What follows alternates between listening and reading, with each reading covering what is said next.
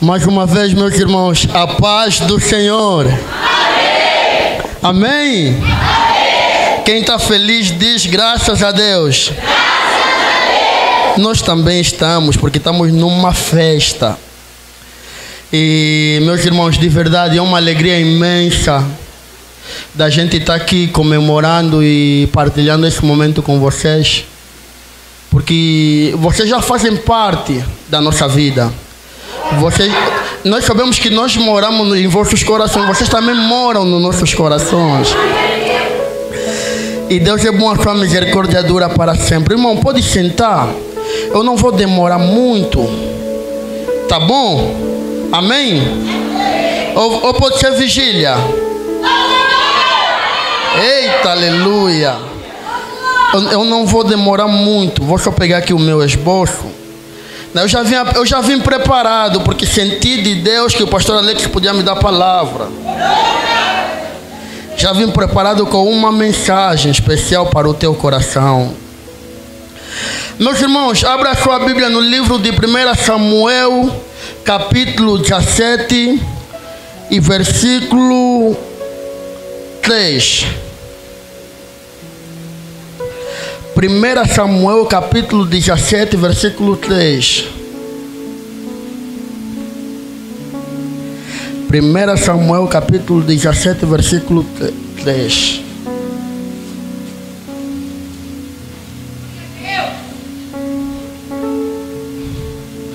Irmão, você não liga muito, eu tenho uma língua presa, então entendamos que é número 3.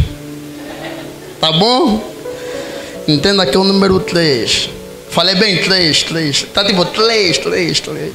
Glória a Deus. O importante é que eu estou falando, não é? Vamos ler. E os filisteus estavam num monte da banda da Lém, e os israelitas estavam no outro monte da banda da Quem. E o vale estava entre eles o vale. Repita comigo: o vale, o vale estava, estava, entre eles. Entre eles. Pula para o versículo 26.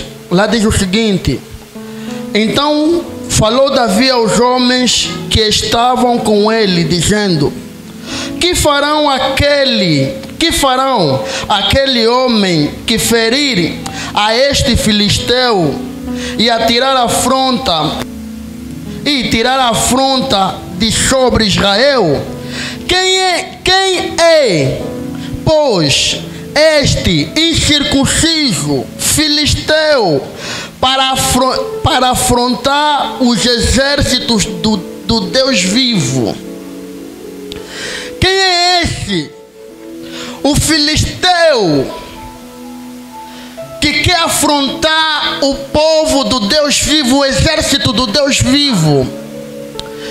Deus colocou uma palavra muito, mas muito poderosa no meu coração, que muita gente aqui precisa entender e precisa aprender. É que sempre a vitória é do povo de Deus. O que Deus espera do seu povo é duas coisas obediência e amor. Só. É o que Deus espera do seu povo. Deus espera que o povo dele lhe ame e lhe obedeça. O povo de Israel só durou 40 anos no deserto porque não obedeceram a Deus, foram rebeldes. E na cidade, na cidade que lhe foram prometida, Todos os rebeldes não entraram. Eles demoraram durante 40 anos no deserto para que todos os rebeldes morressem no deserto e não entrassem. Abílio, o que, é que você quer, o que, é que você quer falar nessa noite? É que o que Deus está fazendo nessa igreja é grande. Sabe por quê? Por causa da obediência do povo dele por causa das sagradas escrituras. Sabe por quê? Porque vocês estão vivendo assim diz o Senhor. Aleluia! Aleluia! Aleluia! Ninguém vive cinco, seis anos não obedecendo ao Senhor. Ninguém vive. Se você está aqui durante seis anos, vocês encontraram muitos Golias. Vocês encontraram no caminho muitas dificuldades. Mas ainda assim, a vitória é nossa no nome de Jesus. Era um tempo de grande, de grande guerra entre o povo de Israel e os filisteus. Eu vou resumir a história, porque acredito que você conhece. O que eu quero mesmo aqui é trazer a lição que Deus colocou no meu coração para trazer a este povo. E o povo de Israel estava do lado direito, o povo dos filisteus estavam do lado esquerdo. E para guerrear, eles tinham que descer no vale. E no meio tinha um vale. Para guerrear, o povo tinha que descer para, para guerrear um povo com outro. Só que quem desce é o Golias, um homem com mais de 3 metros de altura. Ele chegou, desceu e disse o seguinte: Quem de vocês consegue me, consegue me afrontar desse? Vem, vamos lutar.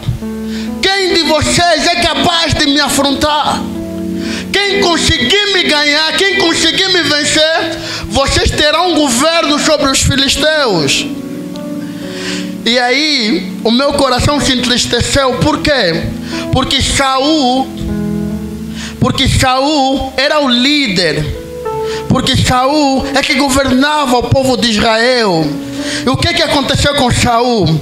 No versículo 11 do capítulo 17 diz o seguinte: Ouvindo então, ouvindo então Saul e todo o Israel está ouvindo então Saul e todo Israel estas palavras dos filisteus espantaram-se e temeram muito. O que eu quero resumir é Saul ouviu aquelas palavras e sentiu medo.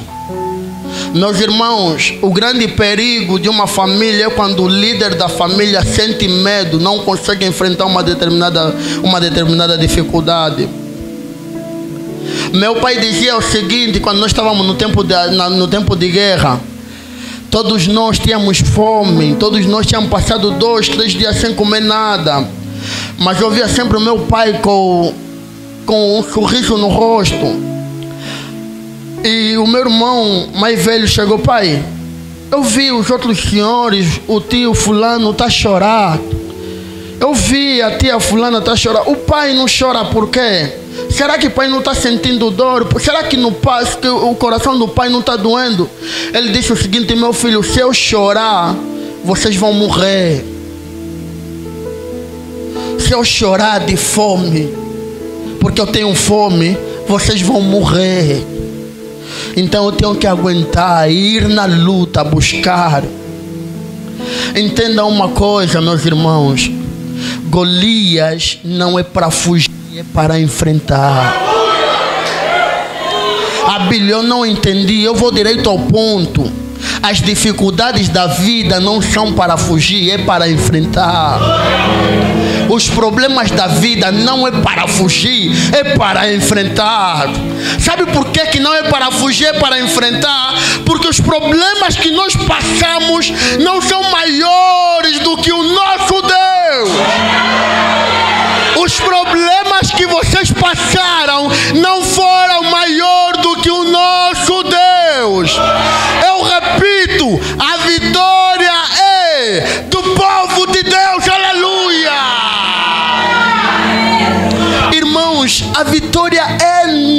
nossa. A vitória é nossa. A grande pergunta é: quantos gigantes você tem enfrentado na tua vida? Quando você acorda, qual é o gigante que acorda contigo? Quando você vai dormir, qual é o gigante que vai querer que vai deitar contigo? Quando você vem aqui na igreja, qual é o gigante, qual é o gigante que quer te perseguir? Eu tenho uma amiga, ela me enviou mensagem e disse: Abílio, colocaram uma galinha na minha casa, fizeram um, uma, uma magia de macumba. Eu não sei falar bem essa palavra, uma magia de macumba na minha casa. Ela vive no Rio Grande do Sul. Ela me falou, por favor, Abílio, ora. Eu tenho medo, ora, Abílio. Eu tenho medo, ora. Eu lhe perguntei, você tem medo de quê? Ela me disse, mas Abílio, fizeram uma magia na minha casa. Eu falei, e o que tem a ver?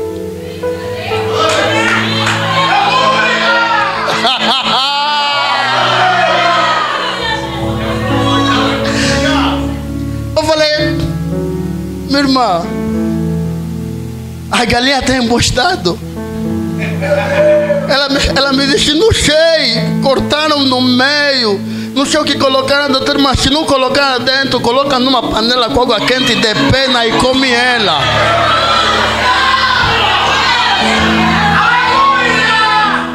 Quem entendeu?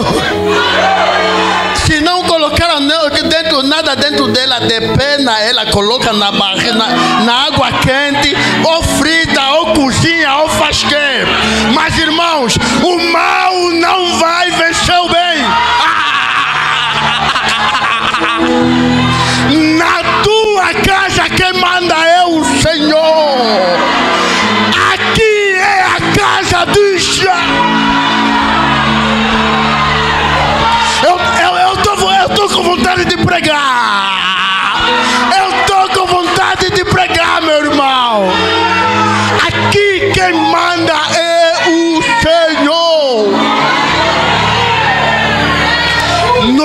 que ter autoridade sobre os nossos gigantes. Eu tenho que ter autoridade sobre os meus gigantes. Se não, irmãos, se não, vou, vou querer pedir oração todos os dias.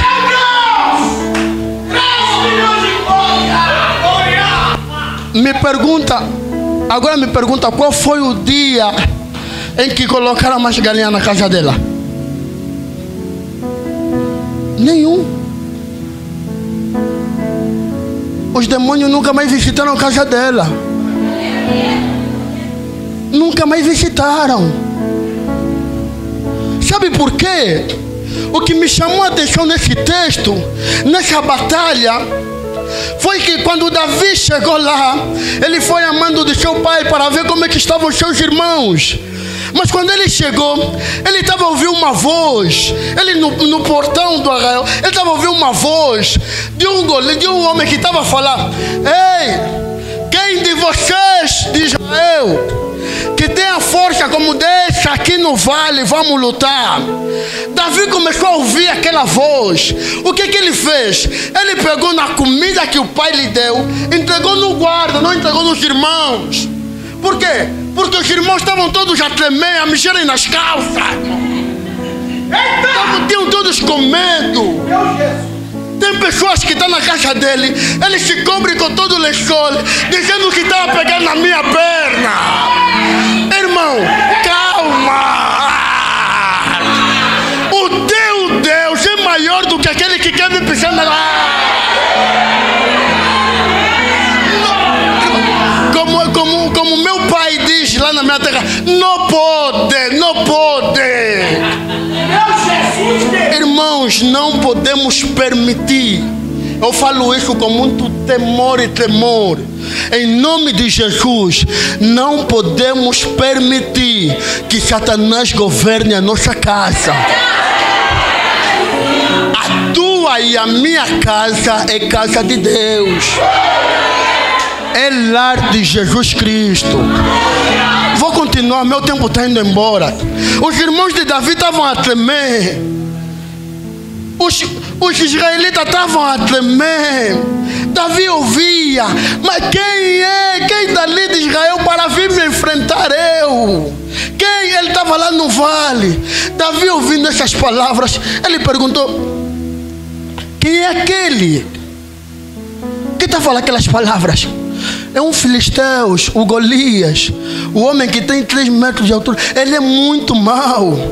Ele vai nos matar. Se eu deixar, eu morro. Se eu fazer aquilo, eu morro. Irmãos, pare de falar dos teus problemas para Deus. Fala, fala de Deus para os teus problemas. Entenda, o grande problema é que eu estou a falar todos os dias. Quando me perguntam, estás bem? Não, não estou bem. Estás bem? Não, não estou bem. Dormiste bem? Não, não dormi bem. Como é que está a família? Não, não está bem. Como é que está? Irmão, para com isso. Começa a falar, minha família está bem. Jesus está lá.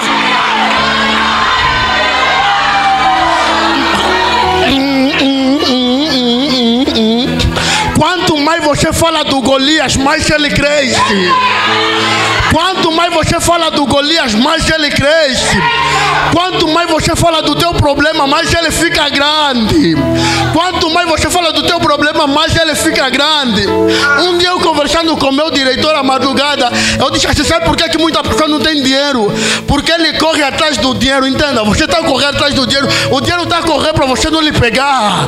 Para de correr, lhe ignora que ele vai vir.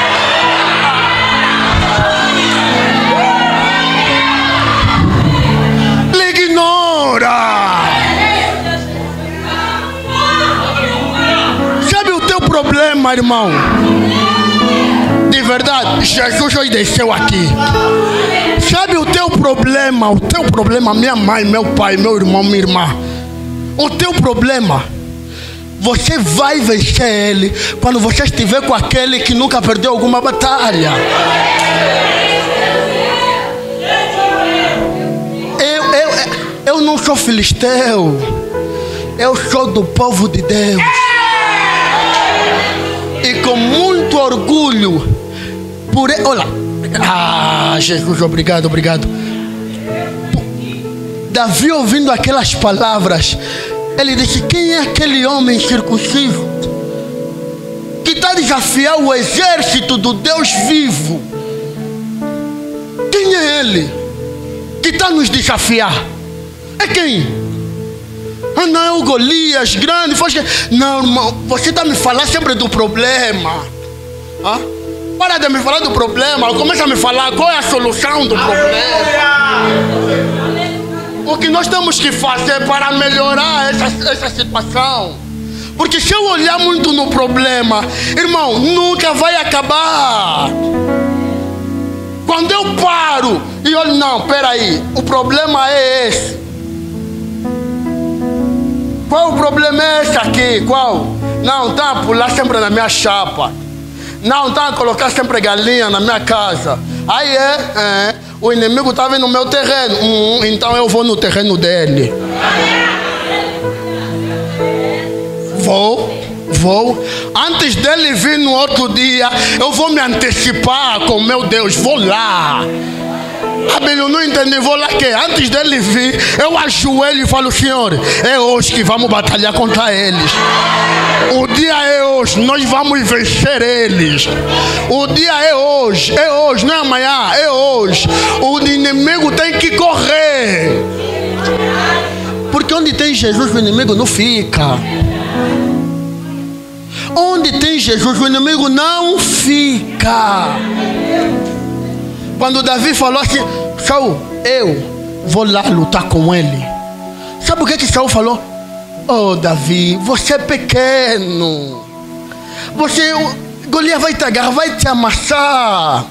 Só que Davi não entendeu, só que Saul não entendeu que não se tratava de altura nem de postura, não. Se tratava de quem estava conosco. Não se trata de altura, não se trata de quem, não importa se for governador, presidente, não importa se for quem. Se ele vir contra o povo de Deus, cai. Irmãos, cai. Cai. Saul lhe falou, mano, você não pode, você vai ficar. Sabe o que ele falou? Vou lá. Saul, meu rei, eu pastoreava ovelhas. E quando pastoreava ovelhas, apareceu um urso, um urso. Estou a falar russo. Apareceu um urso. O que é que eu fiz? Eu afugentei ele. Eu pastoreava ovelha, apareceu um leão. O que é que eu fiz? Eu matei o leão. Saul não estava a entender. Sabe a grande questão é o que? Quando Deus te, te, te entrega pequenas batalhas, é para você vencer, porque Ele está te preparando para as maiores. Hum, hum, hum, hum. Ele está te preparando para as maiores batalhas. Não ignore cada dificuldade que você tem na tua vida. Olhe na dificuldade e fala: é pequena, meu Deus é grande. Sai da frente. Vamos. Qual é a próxima? Esse, vem, vem, vem, vem. É pequeno, meu Deus é grande. Qual é a próxima? Não, é, é pequeno. Não, você não. É pequeno. Meu Deus é grande. Qual é a próxima? É pequeno. Meu Deus é grande. Qual é a próxima? É pequeno. Meu Deus é grande. Qual é a próxima? É pequeno. Meu Deus é grande. Qual é a próxima? Eu, eu vou trazer para eu vou trazer para você entender. As dificuldades viram no primeiro ano. Não, isso aqui não vai nos matar. Nosso Deus é grande. O segundo ano, dificuldades vieram. Isso aqui não vai nos matar. Nosso Deus é grande. Terceiro ano, as dificuldades vieram. Não, isso aqui não é mais grande que o nosso Deus. Sai, sai, sai, sai. Qual é a próxima? Vieram, não. Qual é a próxima? Vieram mais. Qual é a próxima? Vieram mais. Sabe, sabe por que, que, sabe por que, que vencemos grandes batalhas? Porque chegamos no sexto ano.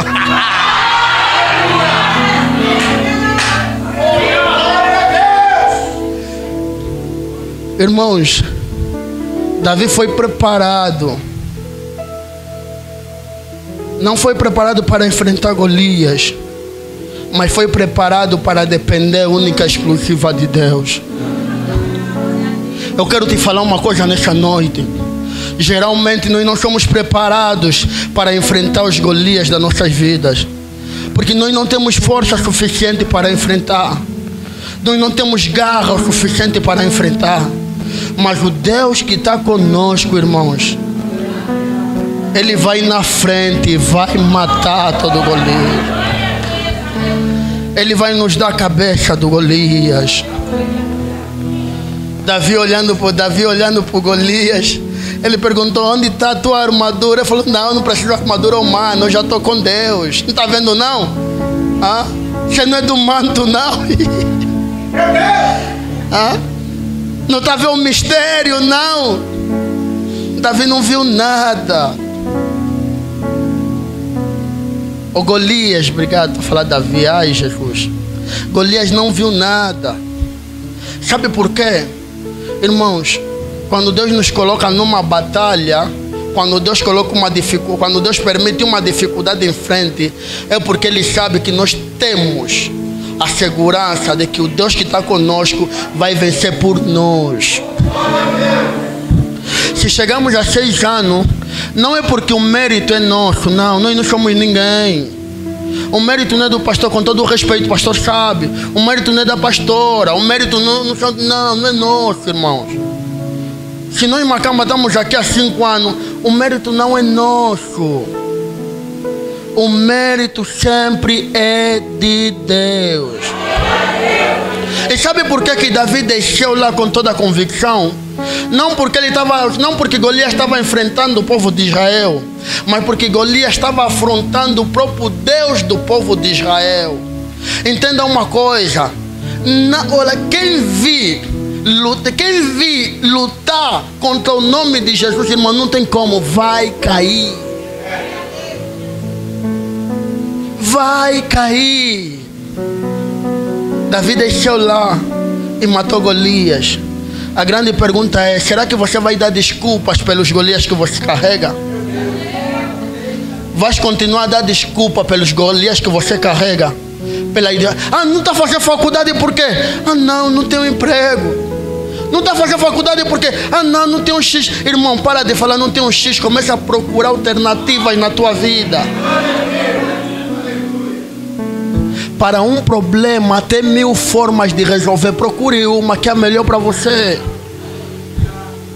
para um problema, tem mil, mais de mil formas de resolver. Procure só uma que é melhor para ti, mas não fique acanhado, dizendo que esse problema vai me matar, essa doença vai me matar. Esse... Irmão, calma, você está com um Deus vivo. Você está com um Deus poderoso. A grande questão é, irmãos, todos os dias, não pensem que se eu matei um Golias, um Golias hoje, amanhã não vou ter mais. Uh -uh, mentira. Quem um dia chegar e pregar, acabaram todos os teus problemas. Já não há mais problemas na tua vida. Vai e viva em paz, irmãos. Me perdoa. Não te menti. É mentiroso. É sério, irmão. Segunda-feira eu tenho que pagar a conta de água. Tá, é grande, irmãos. Não sei se os meninos esse mês gastaram com nós, né? Nós gastamos como água, a conta veio 500 conto. E tenho que pagar, entendeu? Você acha que não dói no bolso? Ai, meu senzinho. Vai não, vai não. Vai não, vai não. Mas tem que ir, irmãos. Para cada dia é uma dificuldade nova. Hum? Mas quem está com Cristo, as suas forças se renovam a cada manhã. Quem está com Cristo, as suas garras se renovam a cada manhã. Ei, meu irmão, pare de reclamar. Pare de reclamar. Falo isso no nome de Jesus, por favor, meu irmão. Pare de reclamar. Porque quando nós paramos de reclamar, vamos ver as outras formas de resolver aquele problema. Quando você vê que, os filhos, que o filho está nas drogas, a tua situação, você fala, não, meu filho não melhora, meu filho no X, meu filho não melhora, meu filho no X, meu filho não... Irmã, calma, ajoelha e ora, que ele vai sair de lá. O tempo que você está parado para reclamar era o tempo que você tá, estaria ajoelhada a orar. É só inverter a situação. Quem está me entendendo, diga amém. amém. Glória a Deus, irmãos. Essa é a situação. Eu tenho o meu Golias e você tem o teu Golias, e é todos os dias. Só que o Golias de ontem já não vai vir mais hoje. Sabe por quê? Porque ele já morreu. Sabe o problema de ontem? Irmão, já matamos. Que venha outro. Pode ser maior, não sei como. Mas nós vamos matar. Sabe por quê, irmãos? Porque nós estamos com quem nunca perdeu nenhuma batalha. De verdade nós podemos sonhar. Deus nos deu a oportunidade de sonhar. Então Ele vai nos dar a oportunidade de realizar.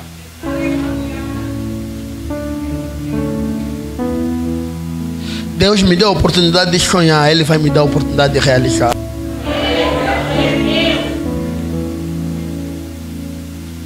Olha, a igreja vai crescer muito. A igreja vai longe. Porque aqui tem nova, nova, novas caras que no, na, no, no, ano passado, foi em fevereiro deste ano. Em fevereiro nós não vimos. Tem aqui novas pessoas. E você acha que a igreja vai estar sempre assim pequena? Não, não vai. Vai crescer muito e muito. Eu creio muito nisso. Vai crescer muito. E quando crescer, irmãos, nos convidam para a gente dar um glória. É verdade, nos convidam para a gente dar um grupo. Irmãos, nós não, temos, nós, não temos, nós não temos vergonha, não. Podem nos convidar, nós vamos pular, vamos girar, vamos dançar, mas é no nome dele. Nós tínhamos um grande Golias na nossa vida. E esse grande Golias se chamava guerra. Nós passamos por 34 anos de guerra civil. Eu vi o meu tio, eu, Abílio vi o meu tio ser cortado pela barriga e saindo toda, desculpa, toda a tripa da barriga. E a minha tia pegou tudo e colocou dentro e foram enterrar ele. Eu vi o meu pai, meu pai, passando uma, um misse. É misse que chamam, porque não, telhaço que partiu quatro costelas aqui. E os médicos olharam para ele e disseram que ele já não poderia andar, já não poderia fazer nada. Poderia ficar só acamado. Eu vi isso. Mas o meu pai me olhou deitado, ele disse: Meu filho, a vitória é do povo de Deus. É por isso que essa palavra está muito, mas muito no meu coração. A vitória é do povo de Deus. A vitória é do povo de Deus. Só que os médicos não sabiam que depois de três meses meu pai voltaria a andar. Os médicos não sabiam que depois da guerra a gente comemoraria a paz. Entenda uma coisa: depois da batalha, Deus vai coroar. E vai. E vai coroar, meu irmão.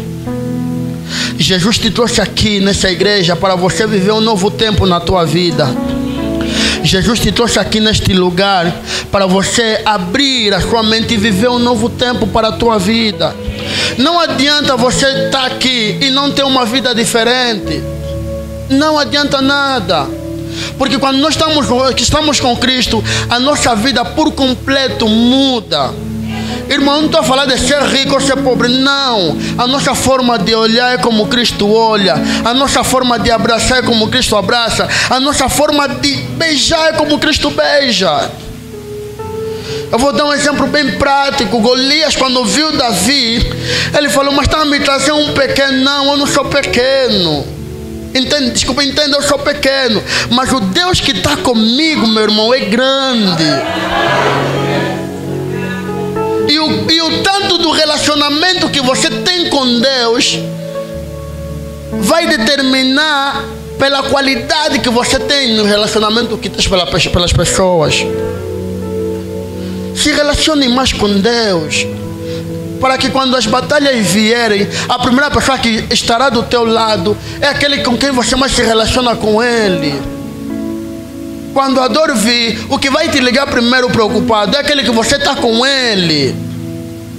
Quando as dificuldades vierem, o que vai te, o que vai se preocupar primeiro é aquele que você está com ele todos os dias. Irmão, seja mais amigo de, amigo de Deus do que do teu esposo. Seja mais amigo de Deus do que da tua esposa. Seja mais amigo de Deus do que do teu filho. Seja mais amigo de Deus do que do teu vizinho.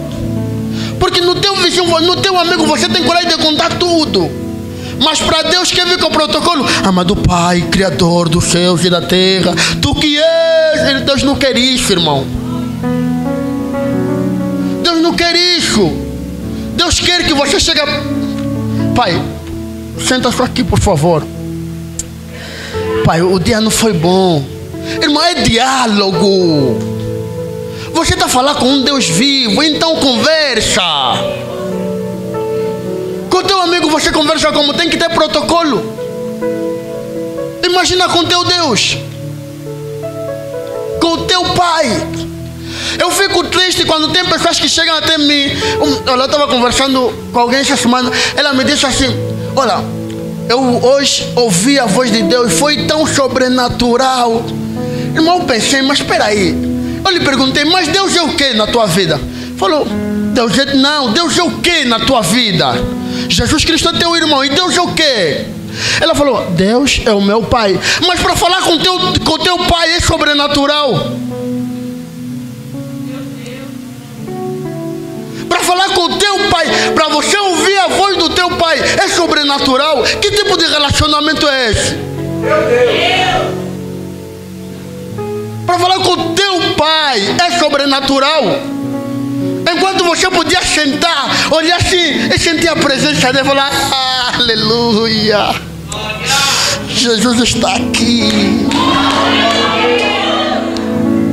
Um dia desse eu conversando com o Bruno, estávamos a falar sobre a presença de Deus, sobre Deus, e estava muito lindo. Eu disse para ele: Olha, Bruno, o grande problema, o nosso grande problema é que, é que nós queremos colocar protocolo no nosso relacionamento com Deus. Não queremos chamar Ele para termos uma vida com Ele todos os dias, todos os momentos e todas as horas com Ele. Sabe, experimenta. Falei para ele, Bruno, experimenta. Quando você tiver sair de casa para ir para a faculdade, não ore dizendo, Pai, por favor, obrigado pelo dia, obrigado pela noite, agora estou indo na faculdade. Não. Fala, Espírito Santo, estou indo na faculdade, vamos junto. E vê o quão vai ser diferente a tua vida, o teu dia. Bruno convidou o Espírito Santo, foi na escola, ele chegou na, na, na sala. E Espírito Santo, essa é a tua carteira, sentou. Na hora de sair, ele pegou as coisas dele e falou: Espírito Santo, agora vamos junto. Fora, e quando ele chegou no metrô, ele sentou. Ele disse: Espírito Santo, por favor, senta aqui do meu lado. Irmãos, nós vemos lá no Capão Redondo, ele estuda no Largo 13. Do Largo 13 até no Capão Redondo, no metrô subia muita gente. Pessoas ficaram de pé, mas ninguém sentou naquele lugar. Ele perdeu o horário porque estava a conversar com o Espírito Santo.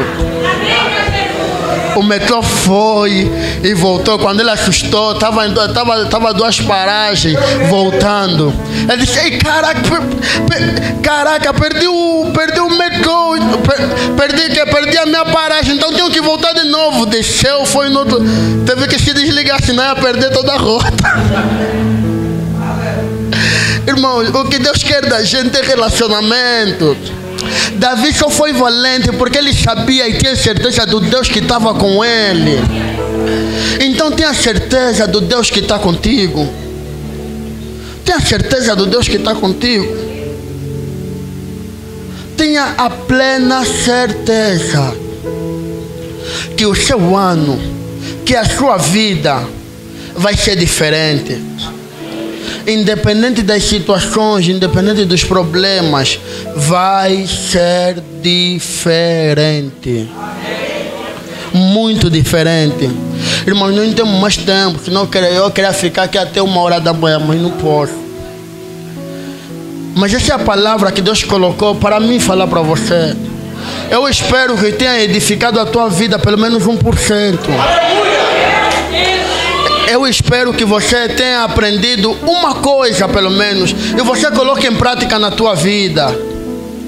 Porque pessoas que conversamos por intermédio de Jesus Cristo, amém, não é nenhum mérito meu. Uma amiga com depressão, eu não sabia, ela me enviou mensagem e disse: Abelho, ora por mim. E o Espírito Santo falou com muito, mas muito forte no meu coração.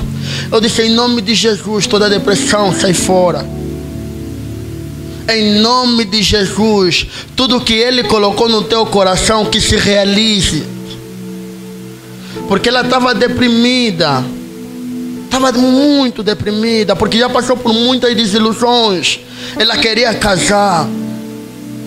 Irmãos, depois de dois meses, ela me enviou uma mensagem. Disse, Abílio, tudo bem? Eu disse, tudo bem, sim. Como é que você está? Falou, estou bem, graças a Deus. Olha, conheci um homem de Deus. Eu vou noivar e vou casar. Entenda uma coisa. Sabe o que tá, a distância que você tem da tua vitória é o que? São as tuas reclamações. Pare de reclamar. Obedeça mais e ame mais a Deus. Obedeça mais e ame mais a Deus. Eu estou sentado aqui, irmão, eu estou a me sentir em casa. Eu estou me perdoa, mas eu estou a me sentir em casa. Obedeça mais e ame mais a Deus. Obedeça e ame mais a Deus. Porque não tem como você ser saudável e continuar com os mesmos hábitos. Não tem como. Comece a orar mais. Fale mais com Deus. Participe mais das atividades da igreja auxilie mais o teu pastor, deia o teu melhor para Jesus. Entenda que dar o teu melhor não é aqui dentro da igreja, é lá fora. E as pessoas, e você vai refletir a luz que Jesus refletia. E as pessoas vão notar isso no nome de Jesus. Eu espero ter abençoado a tua vida no nome de Jesus, irmão.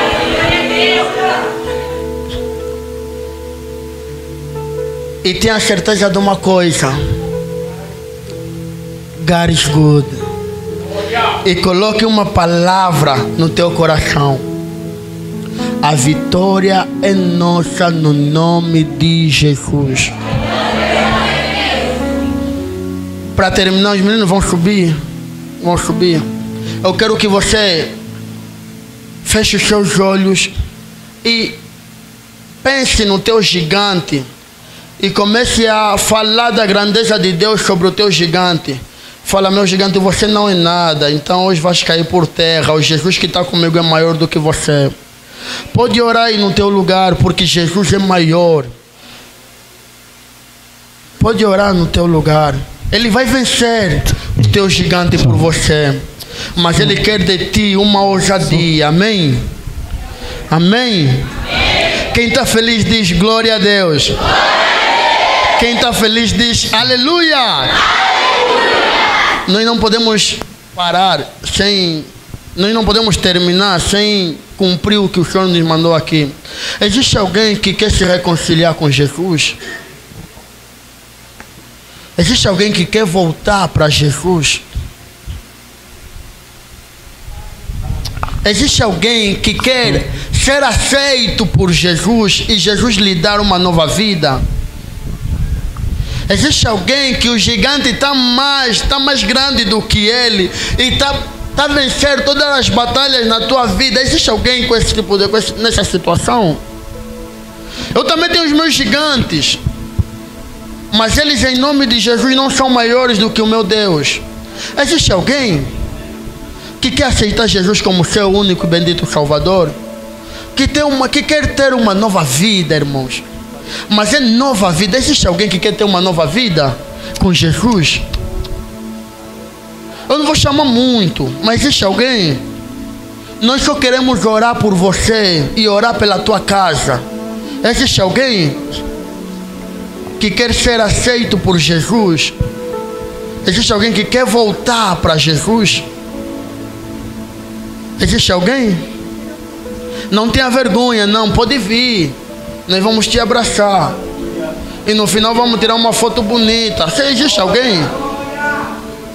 Existe alguém? Não existindo ninguém, meu irmão. Vamos aumentar nosso relacionamento com Deus para que o nosso nome continue estando escrito no livro da vida.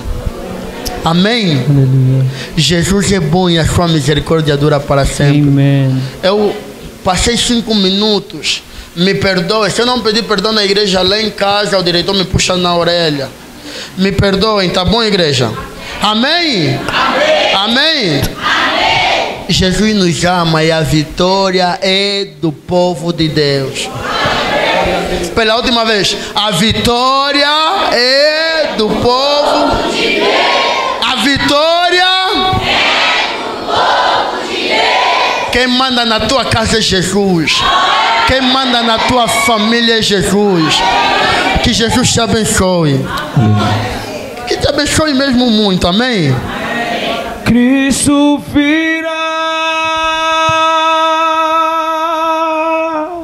Na hora certa vamos vigiar.